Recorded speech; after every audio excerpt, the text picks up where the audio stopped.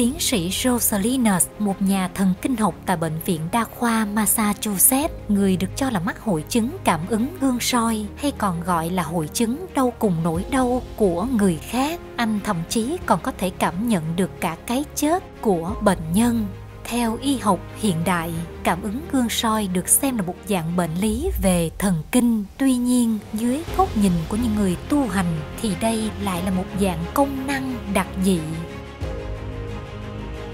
vị bác sĩ có khả năng cảm nhận chính xác nỗi đau và cái chết của bệnh nhân.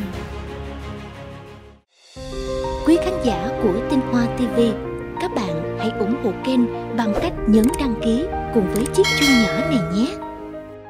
Mirror Teaser hay còn gọi là cảm ứng gương soi. Nói một cách đơn giản, người có cảm ứng gương soi có thể cảm nhận gần như hoàn toàn cảm giác mà người khác từng trải qua ngay cả khi bản thân chưa thực sự trải qua điều tương tự. Synesthesia gọi là cảm giác kèm, một hội chứng khiến cho người ta có thể kết hợp các giác quan với nhau, chứ không chỉ cảm nhận riêng biệt từng giác quan một như bình thường. Chẳng hạn, có người có thể cảm nhận được mùi vị khi nghe nhạc hay nhìn thấy màu sắc khi nhìn thấy các con số hoặc chữ cái. Và bác sĩ Rosalinus là một trong số hiếm hoi những người trên thế giới sở hữu khả năng đặc biệt này anh cho biết bản thân có những triệu chứng này từ khi còn rất nhỏ. Nó khiến anh giống như một tấm gương có thể phản chiếu tình trạng thể chất của người khác lên thân thể mình. Khi tôi nhìn thấy người khác ôm nhau tôi cảm thấy được ôm. Khi tôi thấy người khác bị thương tôi cũng có cảm giác đau đớn. Tuy nhiên, Salinas không cảm thấy bản thân có gì bất thường, cũng không biết rằng nhận thức về thế giới của mình thực sự khác với những người xung quanh. Ở trường mầm non, cậu có thể nhìn thấy màu xanh dương hoặc màu vàng khi nghe thấy tiếng chuông reo ở trường học. Đối với Salinas, điểm B có màu da cam, số 1 có màu vàng và các con số đều có tính cách riêng. Vì vậy, phép tính cộng không có ý nghĩa gì với cậu. Nhưng nhờ có khả năng nhìn thấy màu sắc của chữ nghĩa nên Salinas học rất giỏi các môn học liên quan đến ngôn ngữ.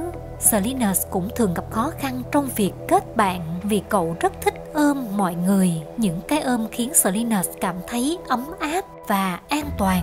Cậu cho biết cái ôm có màu xanh dương ánh bạc, cảm giác giống như số 4 Tuy nhiên, việc cậu ôm mọi người quá thường xuyên khiến những đứa trẻ xung quanh cảm thấy Salinas rất kỳ quặc. Sau nhiều lần bị từ chối, Salinas quyết định thu mình về thế giới riêng của mình.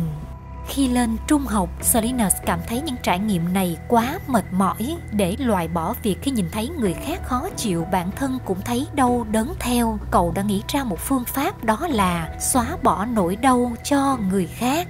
Salinas nhận thấy mình sinh ra là để chữa lành vết thương cho mọi người và quyết định sẽ theo đuổi nghề y. Bác sĩ thấu cảm với số điểm xuất sắc, Salinas nhanh chóng được nhận vào trường đại học y khoa, trở thành một sinh viên ngành y. Lúc này anh vẫn nghĩ tất cả mọi người đều có khả năng giống như mình cho đến năm 2005 trong một lần đến Ấn Độ cùng các bạn học một người đã nói về việc có những người có thể nhìn thấy màu sắc từ những con chữ. Salinas đã thuận miệng nói rằng mọi người ai cũng có khả năng này. Người bạn của Salinas cảm thấy rất ngạc nhiên và nói rằng chắc chắn không phải ai cũng có khả năng này đâu. Đây là một trường hợp đặc biệt.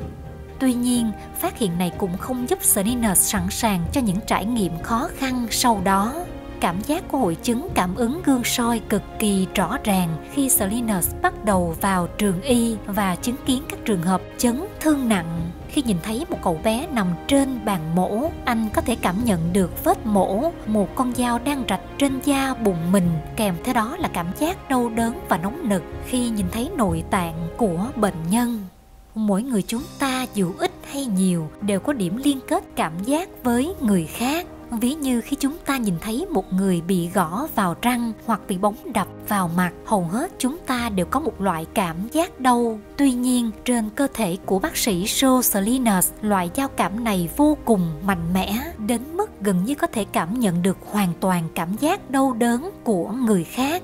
Thậm chí khi nhìn thấy một người nào đó sắp chết, anh có thể cảm nhận chính cơ thể mình đang trải qua một quá trình kỳ lạ, cảm thấy sự lạnh lẽo của nhà xác, thậm chí có thể thấy lồng ngực của mình đang dần dần co lại, hơi thở càng lúc càng yếu dần. Những lúc này, Salinas phải rời xa hiện trường ngay lập tức và dùng những hình ảnh khác để phục hồi bản thân, phân tán sự tập trung, nhận thức lại rằng mình vẫn còn sống món quà từ Chúa. Mặc dù khả năng này khiến Salinas phải trải qua hàng loạt những trải nghiệm rất tồi tệ, nhưng anh không cảm thấy tiêu cực mà cho rằng đây là một món quà từ Chúa. Năm 2007, Salinas đến thăm tiến sĩ Rama Chandran, một chuyên gia thần kinh học hàng đầu. Tiến sĩ đã sắp xếp một loạt các xét nghiệm và xác nhận rằng Salinas là trường hợp cảm ứng gương soi và chỉ có khoảng 1,6% đến 2,5% dân số thế giới mắc phải, chỉ khác nhau ở mức độ nghiêm trọng Chứng cảm ứng gương soi này được coi là một hiện tượng có lịch sử không dài và Salinas là một trong những trường hợp đầu tiên được báo cáo vào năm 2005. Cuối cùng Salinas đã lựa chọn cho mình một hướng đi, chính là nghiên cứu về thần kinh học, tập trung nghiên cứu về chứng cảm ứng gương soi. Trong lĩnh vực này, anh vừa là nhà nghiên cứu, vừa là đối tượng được nghiên cứu Mặc dù những người mắc chứng cảm ứng gương soi trong cuộc sống ta phải gặp những mức độ đau đớn và trầm cảm khác nhau, nhưng bác sĩ Salinas chia sẻ rằng cảm ứng gương soi không nên bị coi là một dạng rối loạn thần kinh. Salinas cho biết hội chứng này đã giúp ích cho anh rất nhiều trong công việc. Nhờ nó, anh có thể chẩn đoán sớm và chính xác bệnh trạng của bệnh nhân. Trên hết, Selena tin rằng cảm ứng gương soi chính là hình thức cao hơn của sự thấu cảm, yếu tố không thể thiếu khi chăm sóc bệnh nhân. Salinas nói họ sẽ bớt cô đơn hơn nếu các y bác sĩ cảm nhận được phần nào những gì họ đang chịu đựng. Điều này vô cùng ý nghĩa trong nghề y. Ví dụ một trường hợp trong các ca bệnh của anh là một người phụ nữ bị bại não không nói được. Cô ấy đã gây gỗ với các y tá và Salinas được yêu cầu giới thiệu một liều thuốc an thần cho cô ấy anh kể, tôi bước vào phòng cô ấy và bắt đầu cảm nhận được sự phản chiếu của cơ thể cô ấy trong chính cơ thể mình, sự phồng lên và xẹp xuống gấp gáp của lồng ngực. Về mặt kinh nghiệm lâm sàng của tôi thì điều đó có nghĩa là ai đó đang bị khó thở. Salinas đã đề nghị một cuộc kiểm tra và phát hiện cô ấy có một cục máu đông trong phổi. Cô ấy không phải đang bị kích động vì tức giận, cũng không phải mê sản cô ấy chỉ đang giành giật từng hơi thở theo đúng nghĩa đen. Nếu không có cảm ứng gương soi, tôi sẽ không thể nhận ra điều này sớm hơn với Salinas, việc chữa bệnh cho người khác cũng đồng nghĩa với việc anh đang chữa trị cho chính mình. Như Salinas đã nói, cảm ứng gương soi không phải là sự trừng phạt mà là một món quà mà Chúa đã dành tặng cho anh